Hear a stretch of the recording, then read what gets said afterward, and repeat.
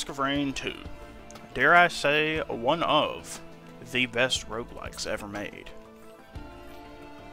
Today, what we're going to be getting into is one of my favorite mods, the Starstorm 2 mod.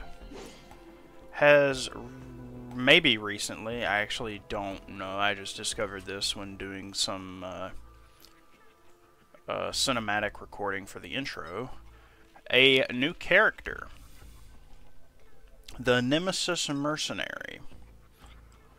Today, what we're going to be doing is just having a ridiculously long run with him and uh, having some fun, seeing what kind of silliness he can get up to. Uh, without further ado, let's get started.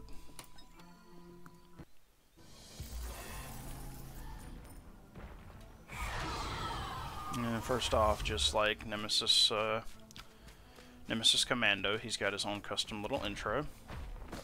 And Nemesis Mercenary is a interesting one.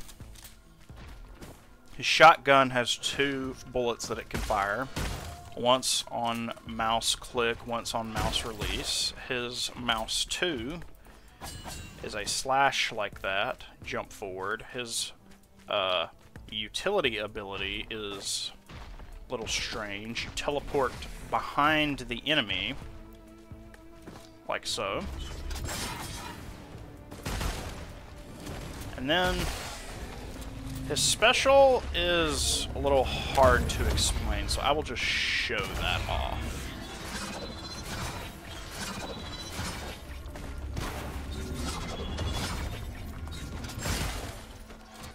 It's basically a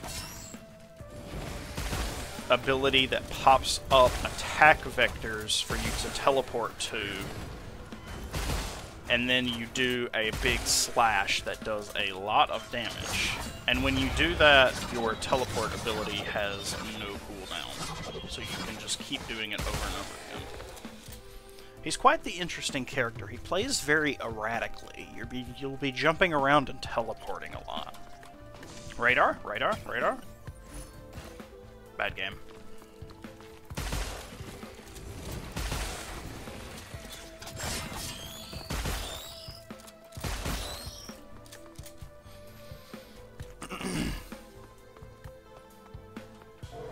That's a... Is a garbage-ass multi-shot, bro. What is this?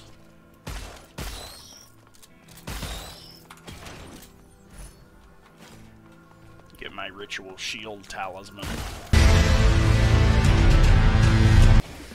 Now, I'd highly recommend anybody watching this video who, ha who has or does play Risk of Rain to try out the Starstorm 2 mod if you have not. Uh, setting up mods for Risk of Rain 2 is not super difficult, and Starstorm 2 is, uh, feels pretty at home with Risk of Rain. Uh, you should give it a try. Oh yeah, forgot to mention, I also have a bunch of other mods on.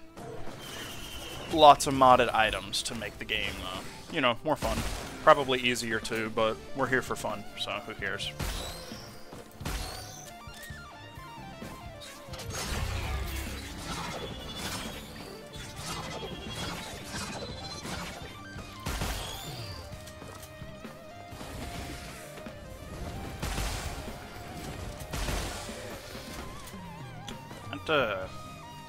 Special ability is rather jarring to look at. I'm sure it won't look any better on the recording either. Especially when you're not super good at aiming like me, it just, you know, kind of just flail the mouse around, try to find something before it goes off. Alright, well, that's probably what we're going to get for this stage. Not the greatest of starter items, but risk of rain moment, so we will make it work. Unless we get an ATG out of this. That's not an ATG, but that's kind of decent, so I'll take it.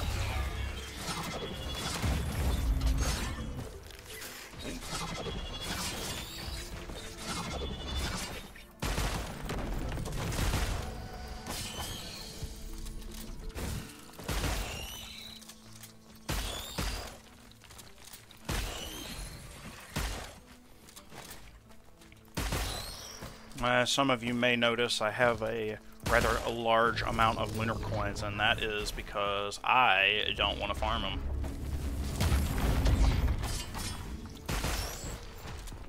Very much cheating. However, I don't really care.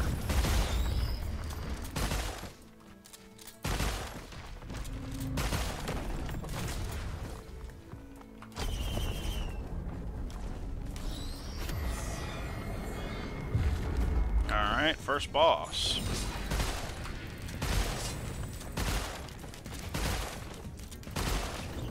And he's dead. I would like if we could try to find a newt altar, because with uh, some specific mods that I have on, newt altars can be a little silly. Oh, look at that. I already have a blue portal. Just a natural one. It's quite lucky. I will show you once we finish this stage what I am referring to when we get there.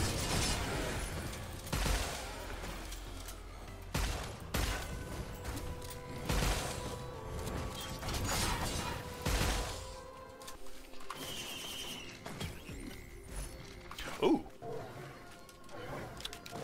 Uh, I'll always prefer radar over pretty much anything, especially in the uh, earlier stages of the game. However, I will not shy away from a Gorag's, because that is pretty good.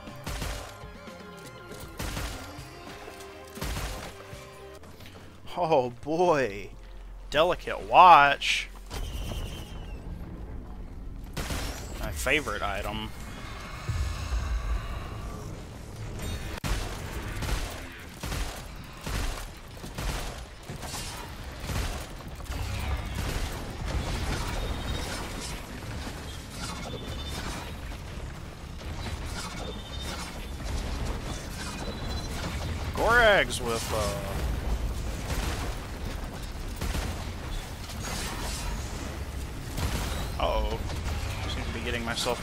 Trouble here. I certainly don't know what's going on. Certified risk of rain moment.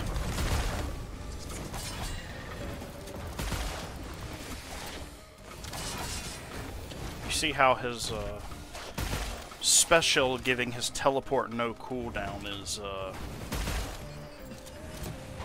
quite the useful feature for damage and for just uh, skating around fighting areas. Especially these teleporters. Before I get super OP and I still have to, you know, actually try to live these teleporters, that will be quite the useful advantage, being able to just teleport everywhere.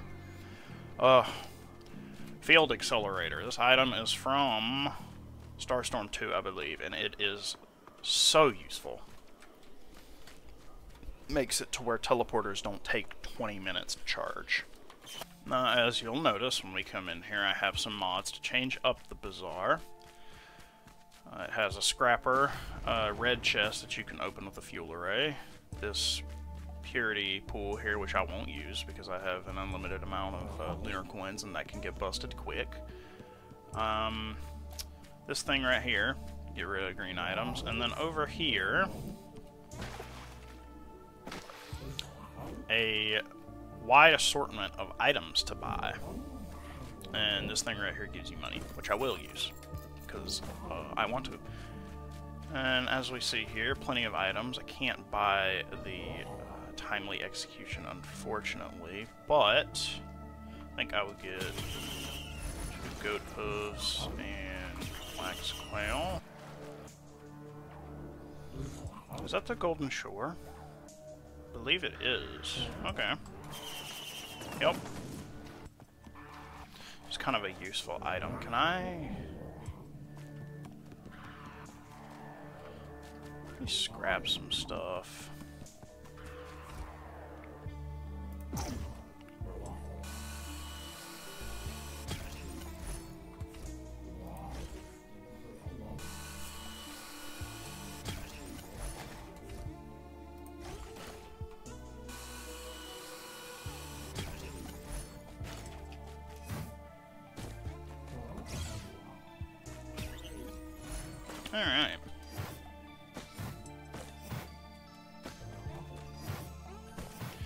Doing too bad, not doing too bad. Not a whole lot of damage here, but just an all-around good assortment of items.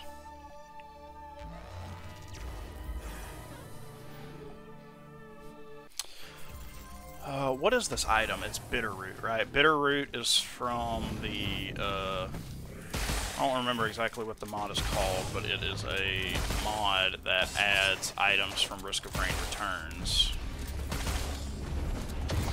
It's a little, uh, it's a little good, especially when you're just killing.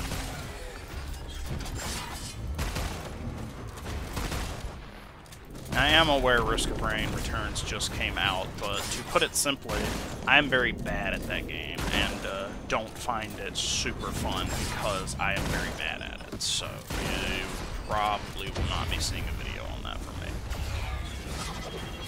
Unless I uh, get good, which uh, that doesn't happen super often, so I wouldn't expect that. I don't know what elite type this guy is. I guess it's just Aurelionite elite typing, but uh, kind of tanky. You know, there's a part of me that kind of uh, is worried that they're just going to reuse the new survivors uh, from Risk of Rain Returns as DLC characters in this game.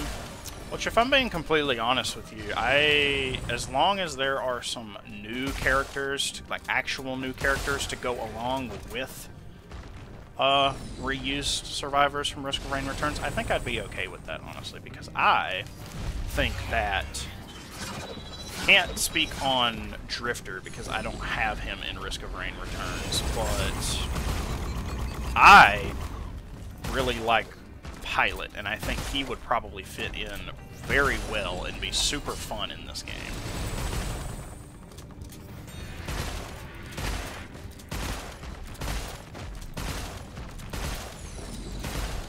Ah, Eh, wish we had some damage over time right about now. That'd be kind of useful.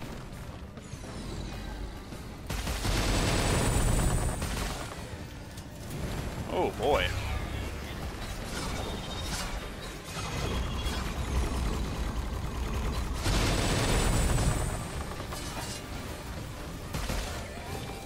getting a little uh, intense. Maybe uh, maybe coming after Aurelionite this early on was uh, not the play, but uh, we will attempt to make this work. Got Gorag's back up.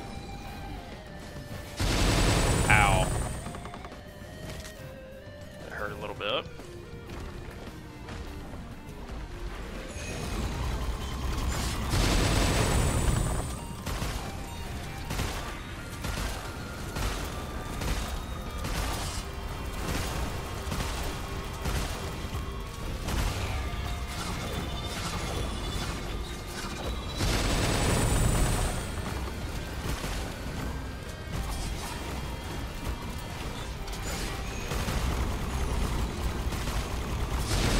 little bit. out some of these Lemurians if we want to live.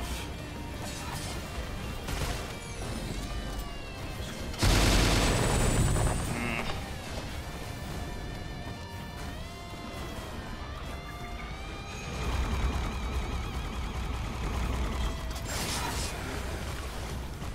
Kill some of them, get the health back. Oh my.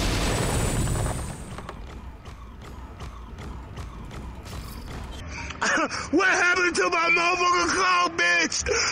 Be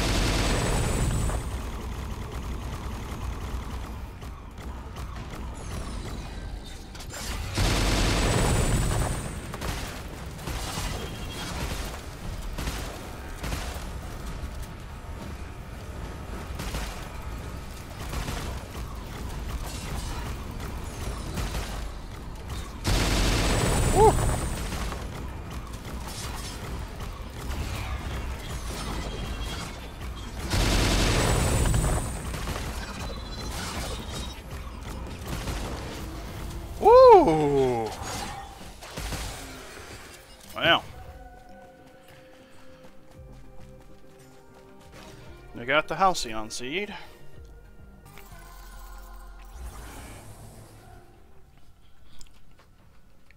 This is a modded stage that I have on. Pretty cool, fits in pretty well. If I wasn't familiar with this game, I probably wouldn't even know that it's modded, to be honest with you. Ooh, lens makers. Oh, neat. Okay, alright. Well, needles are a pretty silly item to have, so uh, things are going to start getting busted here pretty soon, I would imagine. For any character that shoots fast or can expel a lot of projectiles, like Nemesis Mercenary Needles, do not recall which mod needles are from, but they are pretty strong, as you can see, for any character that shoots fast or expels a lot of projectiles.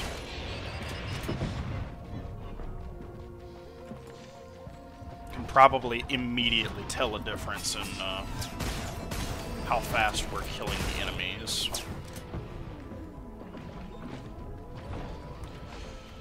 Get some more chests, more items.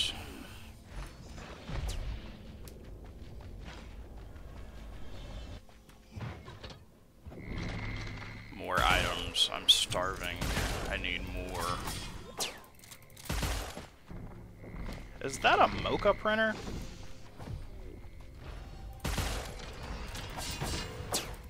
Oh. Okay, cool. First red item. Meat hook. Not too bad, not too bad. That is a mocha. Mm. Okay, we need to go find a, uh,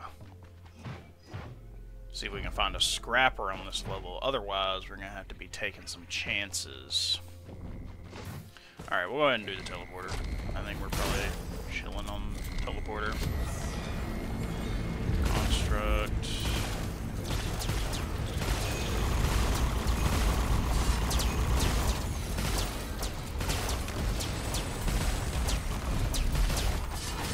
Hmm. me and Aurelionite kind of put in the work there.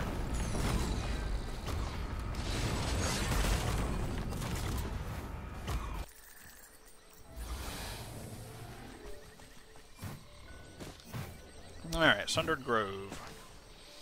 Easy red item if I can find where the chest is. Of course.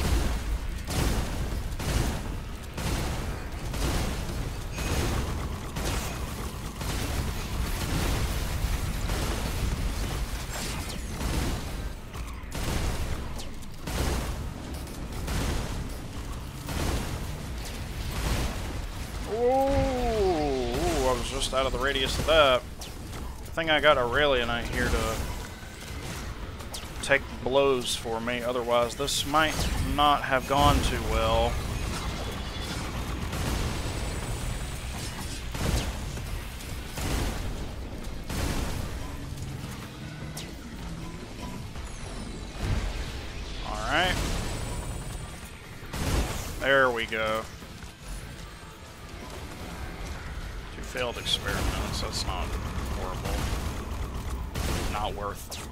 Killing four vagrants on the fourth stage, but not the worst.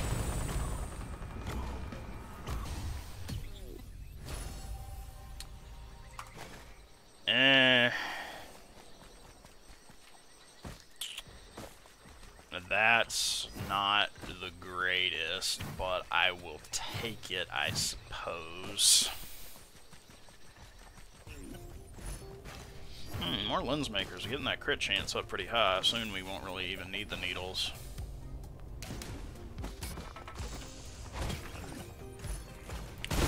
Donut. Ah! Ow. Loop time. Ooh, modded boss, the Wayfarers. They are very projectile heavy, so it can be kind of dangerous.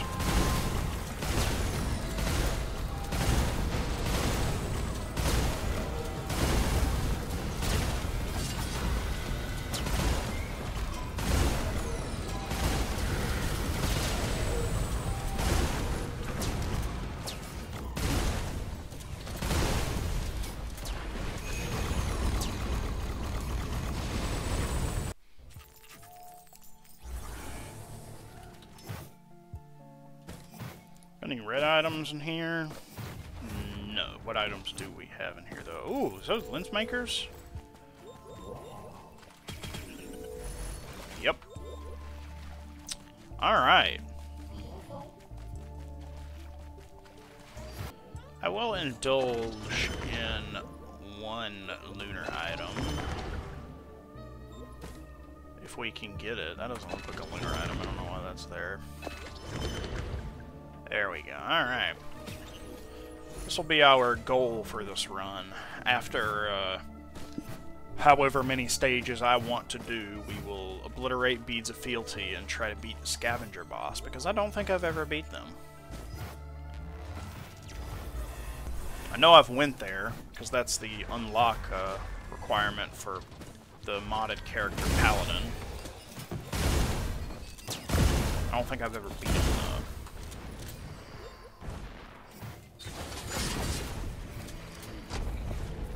Alright, boss fight time.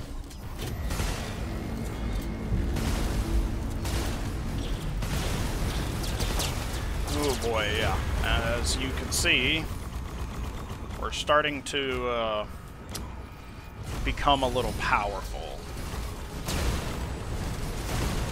Avoid seed. Don't mind if I do. See one void cradle in there. Uh-oh.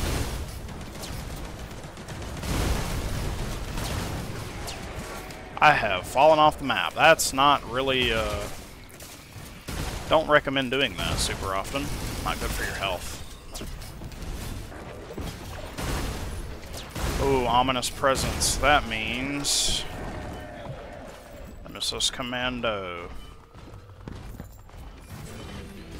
Nemesis Commando boss from Starstorm. If we beat him, this will start uh, making us scale pretty uh, pretty good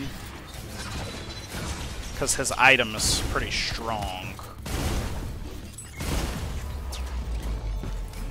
Alright, Stirring Soul. What this does is every kill drops a little orb, and on picking it up, we have a chance to gain an item. And that that chance increases every time we pick up the orb. Or every time we pick up more orbs, I should say.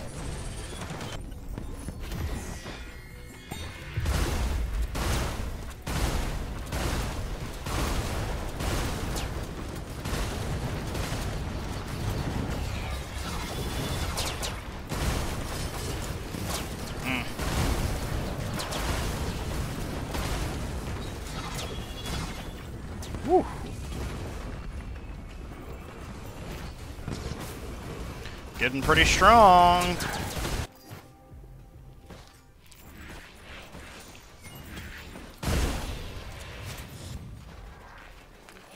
Uh, Nim, Nim Mercenary.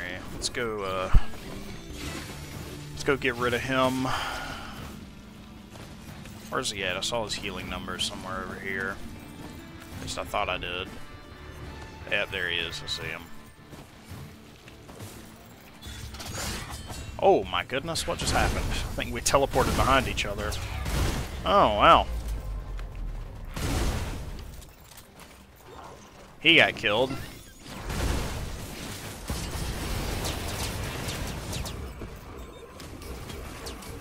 And now we have his item, which is, at the beginning of each stage, we will get access to three red items, and we can choose between the three of them. Pretty good. Mm, go ahead and hit the teleporter. Oh. They just juked me.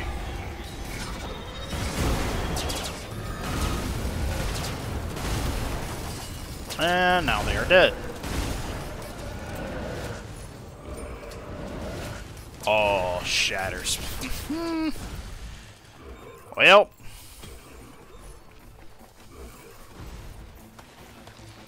That's gonna make us even more broken. Have damage over time now on top of everything else. Not that we need the damage over time, because we're insta-killing about anything we shoot at. A ceremonial? Yep, give me that. Can't pass up a ceremonial. Alright, now Dire Seeker should spawn in, and there he is.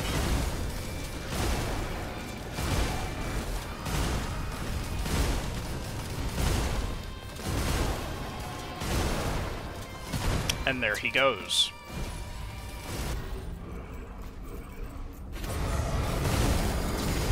Ah, goodbye, Stone Titans.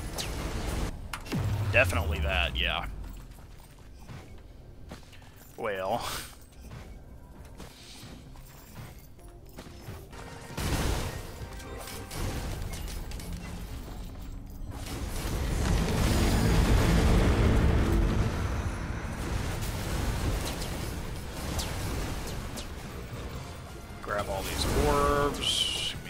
items.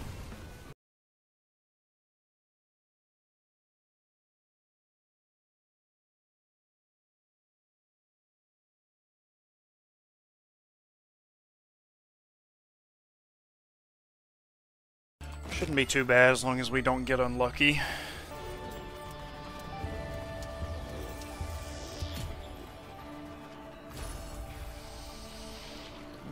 Drone part. Colonel Drone Man. Gotta get Colonel Drone Man.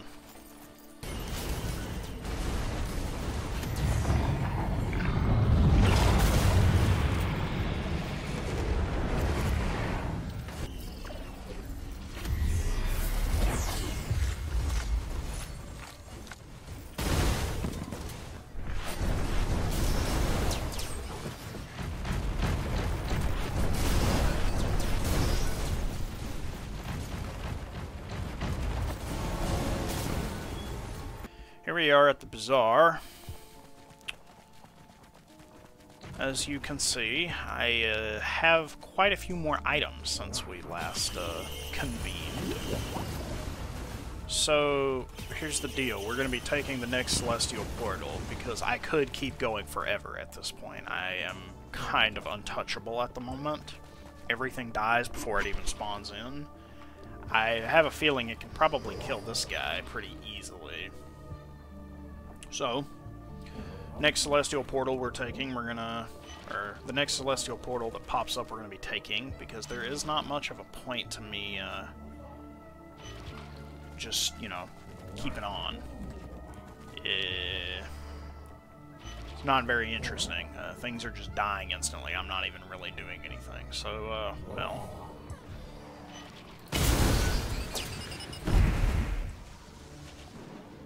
Yeah, Alright, here we are. Moment fractured. So, onwards to obliteration.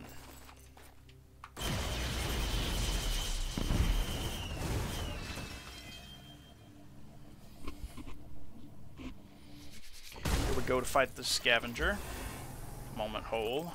There he is, hanging out over there.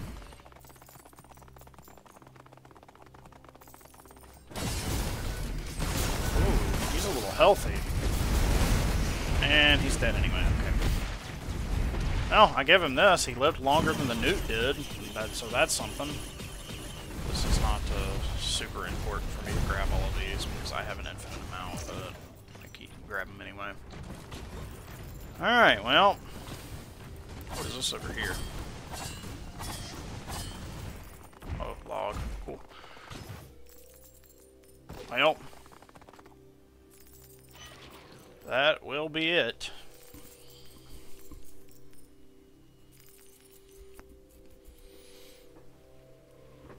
Mm. Well, That was uh, quite the run there. Well, that'll be the end of the video. Nice showcase of Nemesis Mercenary and a nice showcase of just the insanity that is Risk of Rain 2 uh, itself.